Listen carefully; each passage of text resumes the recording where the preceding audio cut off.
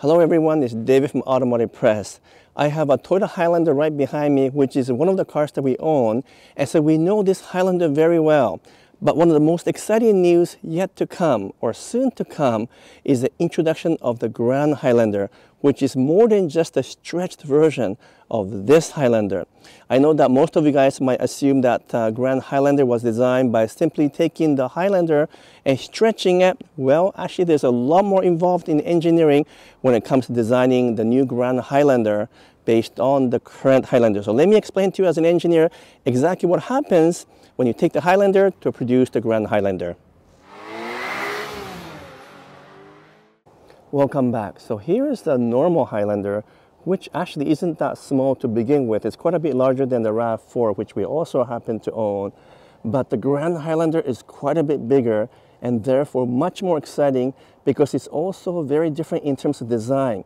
What most people don't realize though is that the Grand Highlander is not just a stretched version of the Highlander in the same way that maybe Lexus RX was because as you know uh, in the past Lexus had an RX and RXL and the RXL was virtually identical to RX but stretched somewhat in order to accommodate a larger rear seat. But for the Grand Highlander, Toyota took a very different approach because it literally changed everything to do with the Highlander. And so for all intents and purposes, as far as I'm concerned as an engineer, the Grand Highlander and the Highlander are no longer the same car. It is not just a stretched version of the Highlander that we see right here. And why is that the case? Well, let me explain to you exactly what's going on. First of all, I think what Toyota wanted to do is introduce a car that can really compete in the current marketplace that's saturated by very popular three-row SUV like the Kia Telluride and the Hyundai Palisade. And they knew that if you just took this um, Highlander right here and simply literally cut the back of it here and stretch it a little bit, it wouldn't be good enough because the design is getting outdated. It's not a particularly great looking um, SUV to begin with.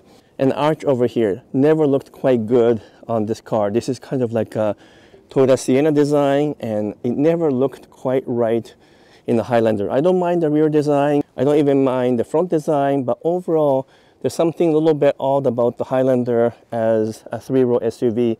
It doesn't look as expensive and it just looks like um, a bit of an awkward design. So I wasn't surprised when Toyota decided to take a fresh view at the Grand Highlander by making sure that almost every panel, every piece of the car was changed.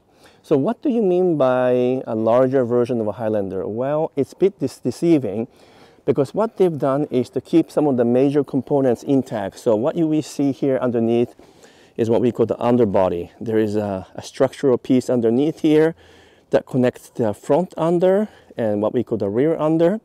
These three pieces make up the majority of the structural part of the vehicle and then on top you add the body, literally on top of the structurally rigid underbody. And that's how you build a car. But in the case of a Grand Highlander, if you simply cut this part here and make this a little bit longer, actually the Grand Highlander is 6.5 inches longer to be exact, well, it's going to look awkward because the design doesn't fit in in terms of front, rear, or even from a side profile.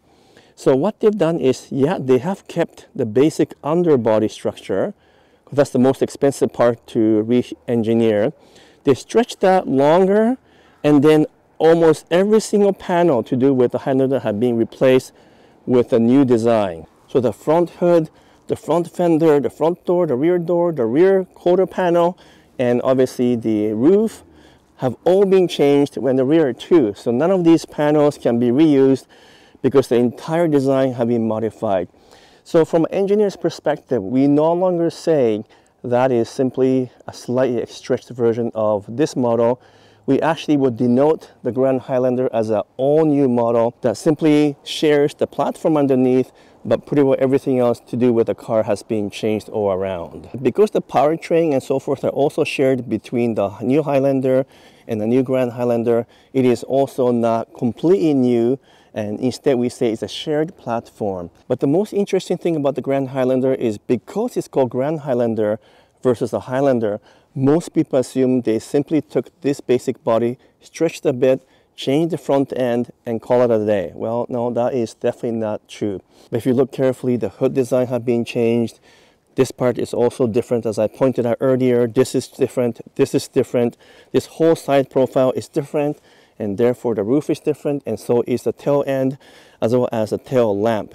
So when you begin to change these components, both the metal piece and the plastic pieces, you have to retool everything. So while they can still be built on the same line because underneath the car is similar, uh, they are actually very distinctively different. And so that's what makes it very interesting for me as an engineer looking at the Grand Highlander. The Toyota took a very fresh approach to designing that vehicle and basically ditched all of these exterior panels and redesigned everything. That also means everything to do with engineering like a crash worthiness, emission controls, all that will be affected and they have to retest and recertify that Grand Highlander because the crash performance and uh, all of the other performance characters will change. Uh, even the inside is different as well. Although there was nothing wrong with the Highlander inside, it's also beginning to look be outdated. So Toyota redid almost everything. The seats, all the center console is different, the dash is different, and there's not a single piece that I can tell here that is 100% shared across with the Highlander. As always, Toyota is very clever in engineering, so small things like the door handle, the power window switch, you know, the locking mechanism, uh, the switch for uh, mirrors, that kind of stuff is always shared, not just between the Highlander and the Grand Highlander, but also among many Toyota models. So those kind of switches will always be shared, and some of the infotainment system will be shared in the newer models. But other than that, the interior is all new. You get way more space in the back, and therefore, engineering-wise, the Grand Highlander is a remarkable piece of work because they had to redesign almost everything. It also means that because the body has been completely re-engineered and almost every piece is all new, they have to recalibrate suspension, the transmission, the engine calibration, all that have to be different from the normal Highlander, even if it shares the powertrain, because the weight is different, the length is different, the drivability is different, and therefore everything has to be recalibrated. In fact, I know for a fact the suspension in the back is very different from the current Highlander, and even the front suspension has been revised to accommodate bigger weight and larger uh, dimension.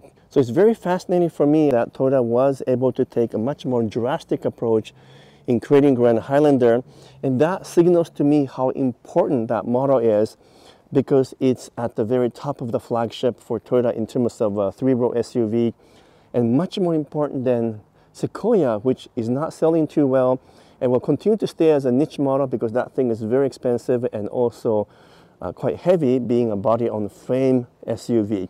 So the Sequoia has its own place in the market, but the Grand Highlander, that's the new up and coming model that could dramatically change the way Toyota handles SUV market because it's such an important model with so much potential for growth. They already sell a huge number of Highlander as well as the smaller sibling RAV4. Uh, so no wonder that Toyota has designed the Grand Highlander to have a combination of design with the current Highlander and the current RAV4. It's kind of a mixture of the two model design because they don't want to upset the loyal Highlander customers, but they also want to accommodate RAV4 owners who is moving up to a larger SUV. And that's why the Grand Highlander kind of looks like a larger version of a RAV4. I'm not surprised by the choice of that design. Now getting back to the difference between the Highlander and the Grand Highlander, well the Grand Highlander is, believe it or not, 6.5 inches longer than this Highlander here, 7 inches shorter than Sequoia, so it's actually very, very long and big. The wheelbase is 4 inches longer than this Highlander. Even the height is different. It's actually 2 inches taller in the Grand Highlander compared to this one. And it's also 2.3 inches wider this way. So the Grand Highlander is actually substantially bigger overall, which is exactly what they wanted to do because that's what the consumers want in the large three-row SUV. Even though this one is also a three-row SUV, it was a lot of compromise in terms of the rear space because the second row of seat is actually very roomy, no problem at all with this seat. Very comfortable, still lots of space. But the third seat, which I have it folded down right now, is you know kind of manageable and it's fine for younger kids, but adult can't sit there for a very long time because it's just a little bit too small.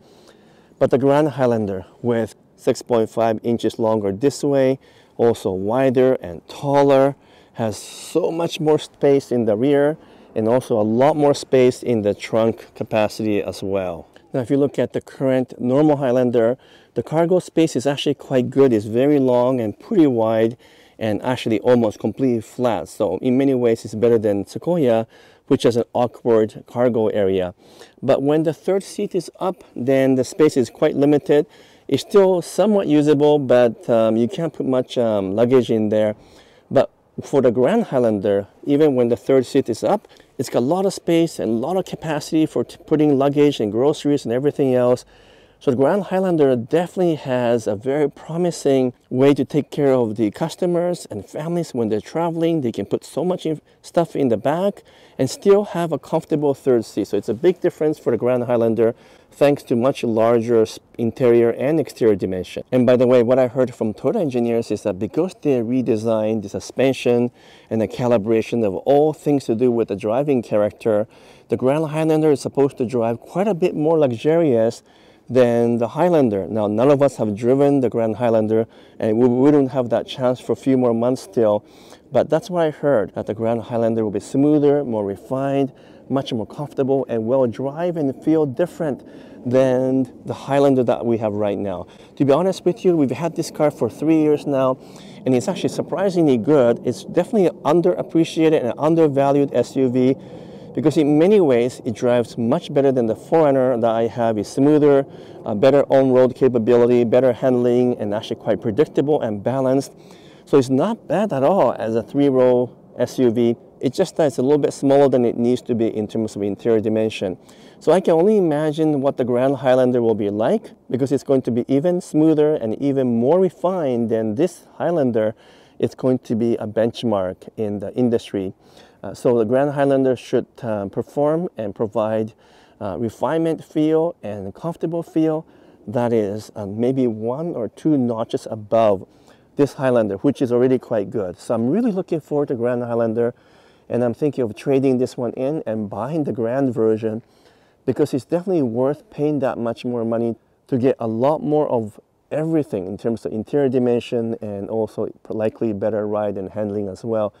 The only disappointing thing is that this one still comes with a V6 engine that we have, the 3.5 liter, and actually works really well in this Highlander. So I'm still disappointed that Grand Highlander, such a large vehicle, still can only be equipped with a 2.4 turbocharged four cylinder uh, with or without hybrid or 2.5 four cylinder and, and not V6 engine anymore. So I would say that's still a bit of a disappointment, not in terms of the you know power and torque that it can provide, but just the overall feel, I think for a large SUV, uh, V6 engine and the way it feels is still kind of a preferred uh, driving character as far as I'm concerned. So that's one disappointment for me.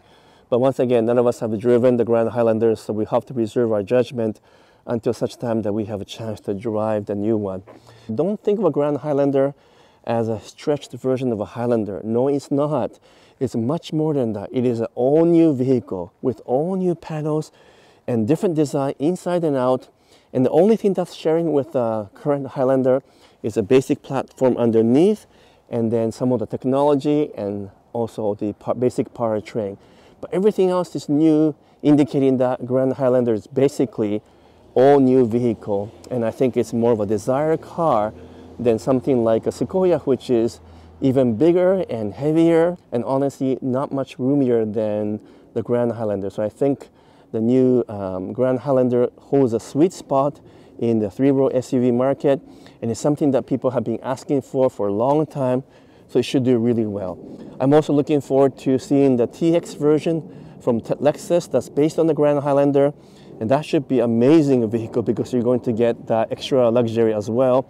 And we are even hearing rumors that um, there will be a new Toyota Century SUV, most likely just for an Asian market, that is going to be based on the Grand Highlander and uh, even using the same powertrain as well. So that will be another exciting vehicle to think about. We probably won't get that here since we don't get the Century here, but who knows? You never know. At some point we might get the Century or Century SUV here in North America. But for now, I wanted to show you and explain to you how the engineering method and engineering approach works in the two vehicles between the Highlander and the Grand Highlander. I hope this was helpful for you guys. If so, please give me a thumbs up, make some comments, and subscribe if you can. Thank you so much. Until next video, I'm signing off for now.